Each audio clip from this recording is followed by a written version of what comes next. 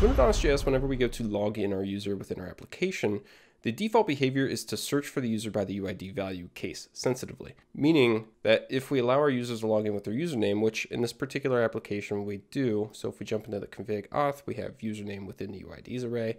By the way, this is the AdonisJS auth repository from the lesson that we did a while back. I feel free to pull this down if you want to follow along. But by default with AdonisJS here, the user is going to need to provide their username and email value as they provided it whenever they signed in with the same casing.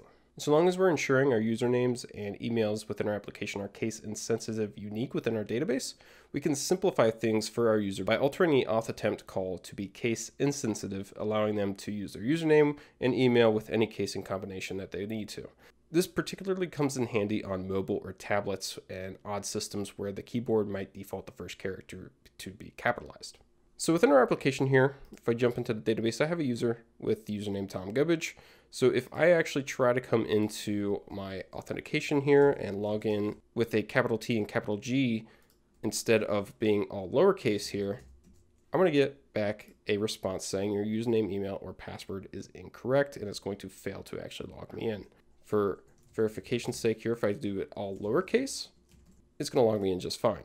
So today we're going to take a look at how we can make this particular check case insensitive, and it's really not that hard. So first thing that you're going to want to do is dive into your authentication controller or wherever you have your registration validation happening. And you're going to want to make sure that you're saving things to be case insensitive for your username, email, or any other UID value that you might be saving.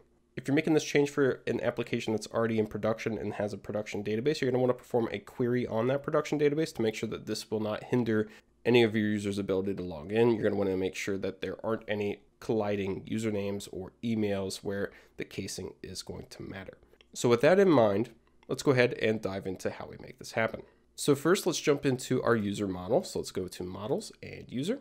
And we're diving into our user model because whenever AdonisJS actually goes to authenticate our user, it actually has a check for a function called find for auth on our user model. And if that does not exist, then it's going to go about business as usual by taking our UID array and appending it into a query with an or where statement. So we're diving into our user model so that we can actually append in a find for auth function, and this will allow us to build a query for ourselves instead of using this default or where statement. So let's go back into our user model here. Let's go ahead and just scroll down to the bottom, and we're going to want to add a public static async function called find for auth. This will accept a UIDs array as the first argument, and a UID value as the second. In my particular case, I know that this is going to be a string array. And then the UID value is going to be a string since that is going to be either the username or the email. Next, let's go ahead and create a query. So we can do this dot query to start a query builder for our user model. And we'll do where query. And then instead of doing query dot something, we're going to want to loop over the UIDs. So let's do UIDs dot map and then we'll have UID, and then we'll do query dot or where, and then we'll add the UID that we're currently looping over. And then what we'll want to do is perform an iLike here so that we can do a case insensitive check for the likeness of our value. And then we'll just provide the UID value here. So by using the iLike, we're telling the query to perform a case insensitive like check for the UID value. However, we aren't adding any percent signs, so we're essentially performing a case insensitive equality check here. And that's exactly what we want to do. Now to top this off, we're going to only want one user. We're not going to want an array of users to log in. So we're going to want to check first or fail. So we can go ahead and save this. You can make this a little bit cleaner if you wish. I'll go ahead and break this down and this down here. There we go. And that should do it. So if we go ahead and jump back into our application here, come back over here, and I try to log in with casings in my username, we get logged in just fine. And if I come back and do the lowercase again, everything's working just fine. Before we end this lesson, there's one last thing that I want to cover.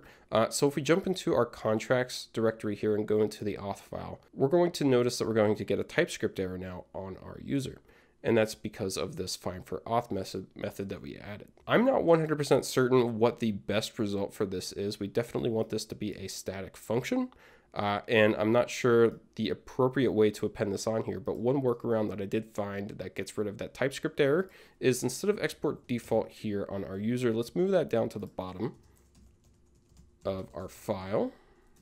And then instead of having our find for auth method within the user, let's go ahead and do user defined for auth equals async function, and we can take this function here and move it on down there, just like so.